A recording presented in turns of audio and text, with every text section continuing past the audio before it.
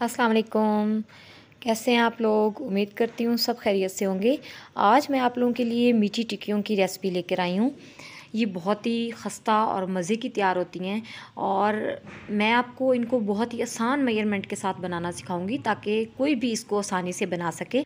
बस आपने वीडियो को सारा देखना है और इसको स्किप नहीं करना। आपको मैं सारे ट्रिप्स और ट्रिक्स बताऊँगी कि, कि आपने इनको बनाते हुए किन चीज़ों का ख्याल रखना है।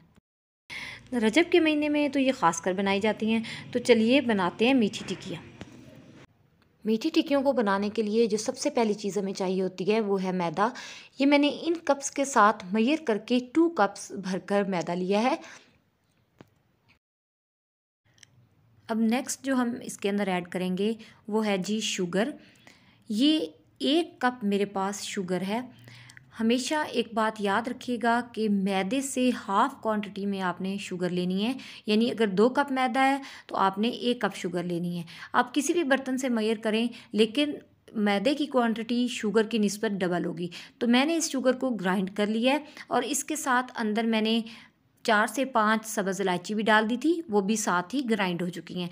तो अब हम इसमें शुगर ऐड कर देते हैं। दोनों चीज़ों को हम मिक्स कर लेते हैं। अब जो हम इसमें ऐड करेंगे, वो है जी सूजी। सूजी मैंने हाफ़ कप ली है, यानी मैदा जितनी क्वांटिटी में होगा, उससे हाफ़ शुगर और उससे हाफ़ जो है वो सूजी ऐड करेंगे।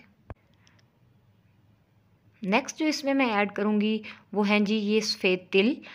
ये टू टेबल स्पून मैंने लिए हैं तो ये चले गए टू टेबल स्पून यानी सूजी से भी हाफ़ क्वांटिटी में जाएँगे। और टू टेबल स्पून मैंने ड्राई मिल्क लिया है, ये भी इसके अंदर ऐड कर देंगे। टू टेबल स्पून खोपरा ऐड करेंगे, यानी ड्राई जो हमारे पास नारियल होता है, वो कद्दूकश किया हुआ। और हाफ़ टी स्पून सफ़ेद ज़ीरा ऐड करूँगी। सारी चीज़ों को मिक्स कर लेते हैं। मिक्स करने के बाद हम इसके अंदर ऐड करेंगे देसी घी। ये थ्री टेबल स्पून मेरे पास देसी घी है। ये इसके अंदर शामिल कर देते हैं। अब आपने देखना है कि मैं इसको कैसे मिक्स करती हूँ। हाथों की हेल्प से आपने इसको मिक्स करना है। आपने मैदे के मिक्सचर और घी को इस तरीके से हाथों में लेके रब करते जाना है। इस तरीके से घी इसके अंदर बहुत अच्छा मिक्स हो जाएगा और आपकी जो टिक्कियाँ हैं वो खस्ता बनेगी। तकरीबन दो से तीन मिनट तक हम इनको रब करते रहेंगे ताकि ये घी और मैदा जो है वो अच्छा सा आपस में मिक्स हो जाए। तो ये अब हमारा मिक्स हो चुका है। अब मैं इसके अंदर ऐड करूँगी दूध और इसको गूँधेंगे दूध जो है वो मैंने ये वन कप लिया था, लेकिन इसमें आधे से भी कम जो है वो यूज़ होगा। दूध को आप एकदम नहीं डाल देंगे, बल्कि थोड़ा थोड़ा करके डालेंगे जितनी हमें ज़रूरत होगी। हाथों की हेल्प से इनको अच्छा सा मिक्स कर लेंगे, जैसे हम आटे को गूंदते हुए करते हैं। थोड़ा सा दूध इसके अंदर और ऐड होगा। अगेन मिक्स करते हैं। बस हमें इतना ही दूध चाहिए था और दूध हम इसके अंदर ऐड नहीं करेंगे। हाफ़ कप से भी कम दूध जो है वो मैंने इसके अंदर डाला है। अब हम इसको आटे की तरह गूंद लेते हैं। हमें तब तक इसको गूंदना है जब तक ये मैदा जो है वो बर्तन और हमारे हाथों को छोड़ ना दे। तीन से चार मिनट हमने आटे को गूंदा है और अब आप ये देखें कि ये बर्तन को हमारे हाथों को छोड़ रहा है। बस ख्याल रहे कि आपने इस मिक्सचर को सख्त ही रखना है। ये नरम नहीं होना चाहिए। आटा हमारा कम्प्लीटली गुन चुका है और इसने बर्तन को फुली छोड़ दिया है। अब हम इसको कवर करके तकरीबन 15 से 20 मिनट के लिए रख देंगे। आपने फ़ौर इससे टिकियाँ नहीं बनानी अदरवाइज़ वो टूटना शुरू हो जाएँगी।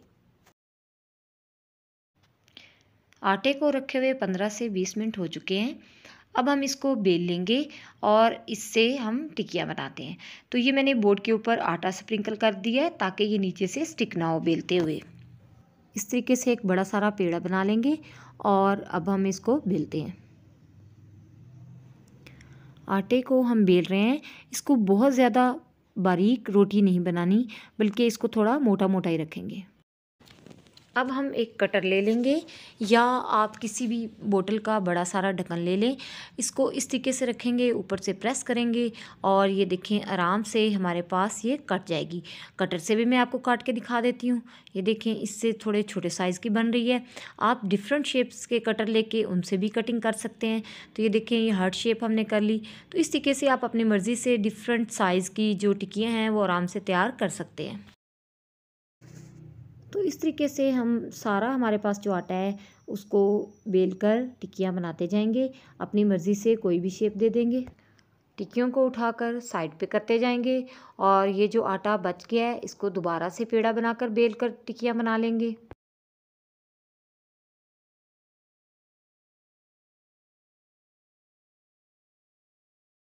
तो इस तरीके से फ्रेंड्स मैंने सारे आटे की जो टिक्कियाँ हैं, वो बेल ली हैं। अब हम इनको फाइव मिनट्स के लिए पड़ा रहने देंगे। उसके बाद हम इनको फ्राई करेंगे। फ़ौरन से फ्राई नहीं करना। फ्राई करने के लिए मैंने घी को चूल्हे पर रख दिया है। इसमें हम घी का इस्तेमाल करेंगे। ऑयल का इस्तेमाल नहीं करना। घी से ये खस्ता और मज़ेदार तैयार होती हैं।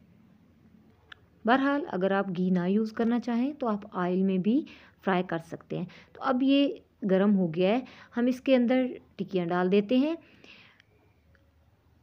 आँच जो है वो हमारी बहुत ही स्लो होनी चाहिए, क्योंकि अगर आप इन्हें तेज़ आँच पे फ्राई करेंगे तो ये बाहर से पक जाएँगी और अंदर से कच्ची रह जाएँगी। तो अब पैन में जितनी स्पेस थी, उतनी हमने टिक्कियाँ डाल दी हैं। आपने इनको फ़ौर पलटना नहीं है, बल्कि ये देखें, आप आहिस्ता आहिस्ता ये जब फ्राई होंगी तो ख़ुद ही ऊपर आ जाएँगी, उसके बाद हम इनकी साइड जो है उसको चेंज करेंगे। तो इस चीज़ का भी आपने ख्याल रखना है। अगर आप इनको फ़ौर से पलटने की कोशिश करेंगे तो ये टूट सकती हैं। तकरीबन दो मिनट हमें इनको फ्राई करते हो गए हैं। अब आप ये देखें कि ये ख़ुद ब खुद ऊपर आ गई हैं और फूल भी गई हैं। अब इस पॉइंट पे हम इनकी साइड को चेंज कर देते हैं। तकरीबन दो से तीन मिनट हम इनको इस साइड से फ्राई करेंगे और दरमियान में एक दफ़ा फिर इनकी साइड जो है उसको चेंज कर देंगे।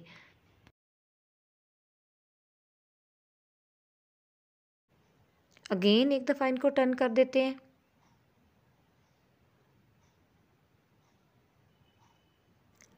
बस जी, अब ये फ्राई हो चुकी हैं। अब हम इनको निकाल लेते हैं। आप ये देखें कि ये फ्राई करते हुए बिल्कुल भी नहीं टूटी और बहुत प्यारा सा गोल्डन कलर इनके ऊपर आ चुका है। बस आपने ये ध्यान रखना है कि आपकी आँच बिल्कुल तेज़ नहीं होनी चाहिए। अब इसी मेथड से मैं सारी टिक्कियों को फ्राई कर लूँगी और उसके बाद मैं आपको दिखाती हूँ कि ये कैसी लग रही हैं। आप ये देखें कि मैंने फ्राई करते हुए बस इतनी ही आँच जो है वो रखी हुई थी। तो इससे तेज़ आँच पे आपने फ्राई नहीं करनी।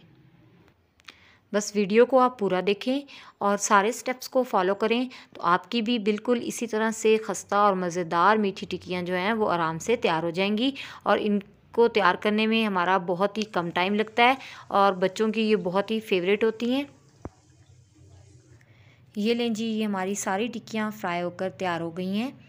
आप इनको टी टाइम स्नैक्स के तौर पे खाएँ या आप इनको ब्रेकफास्ट में लें, ये बहुत ही मज़े की लगती हैं। ये बहुत ही क्रिस्पी तैयार हुई हैं। अगर आप सारे स्टेप्स को फॉलो करके बनाएँगे तो आप भी इसी तरह से मज़े की जो मीठी टिक्कियाँ हैं, वो तैयार कर लेंगे। इनको ट्राई ज़रूर कीजिएगा। अगर आपको मेरी ये रेसिपी अच्छी लगे तो इसे लाइक करें। मेरे चैनल को सब्सक्राइब करें और फ्रेंड्स को शेयर करना मत भूलिएगा। इन फिर मिलेंगे एक नई और मज़े की रेसिपी के साथ। अल्लाह हाफिज़।